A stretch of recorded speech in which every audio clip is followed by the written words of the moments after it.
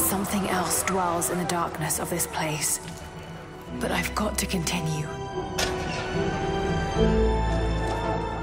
I finally feel a sense of purpose again. Like I'm doing what I was meant to do. Some kind of marker.